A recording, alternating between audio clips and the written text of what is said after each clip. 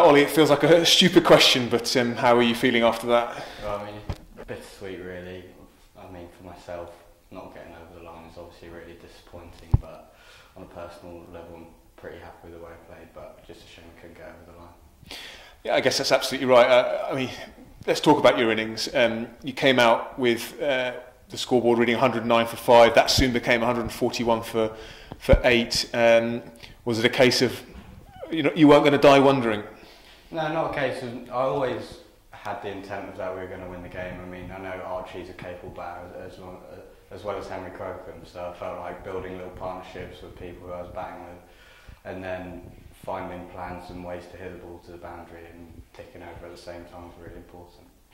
Uh, talking about Archie, you know, uh, what were you guys talking about um, during your partnership out there? I mean, um, it seemed even at one stage that Archie had some advice for you coming down to, to have a chat. Yeah, uh, we were just constantly looking at the scoreboard, seeing what we needed to do, because it felt like our innings kind of we needed to keep on hitting it, but by the end of our partnership, we we're down at five and a half. So it was really a case of getting those runs early and then ticking over. So yeah. Um, was there a part of you um, that sort of had the, the memory of Sedbergh, thinking this is your chance to sort of do the reverse?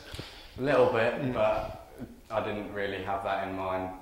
But it would have been lovely to get over the line like Lancashire did at Sedbergh, but it just wasn't the day for us today.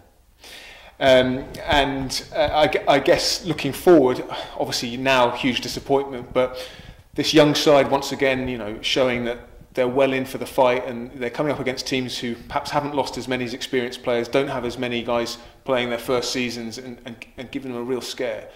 Yeah, I mean it's really exciting, for, for, especially for me to look at playing with people who have played within the age group stuff and growing up playing kids cricket with. It's brilliant to see that we're doing it at the top level as well and you can't fault anyone's fight today. I thought it was impeccable in the field and all the youngsters were immense today.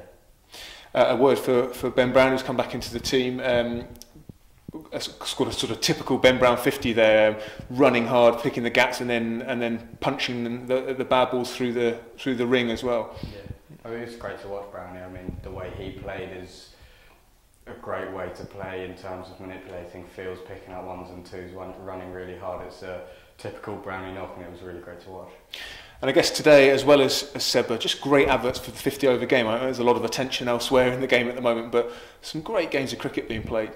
Yeah, absolutely. Close games are the best game. No one likes games which are just too far, get too far away from one side. So being really, really competing at the highest level, taking it right down to the second to last over in two of our games so far is brilliant. And games where one side looks out of it and then suddenly they're you know they're, right back in it. Yeah, exactly. I mean, we were in a pretty similar position as Lancashire were in Sedbergh, but just couldn't quite get over the line. But still a massive effort from the boys, and all credit to Gloucestershire. I thought they bowled and batted really nicely today. Finally, a word for the um, for the spectators here. Massive frustration all season with this weather finally got a full game in today and, and they clearly loved it. Uh, uh, how special was their reaction to your innings? Oh, it's great to see the crowd up and running, especially with a few mates in the crowd. It's brilliant to put a performance in in front of them and give them what they've deserved and missed because of the rain and last year because of COVID. So it's brilliant for them to be back and enjoying cricket again. I know it wasn't the end result we all wanted, but well batted and uh, you gave everyone a, a good day out. Thanks, Sam.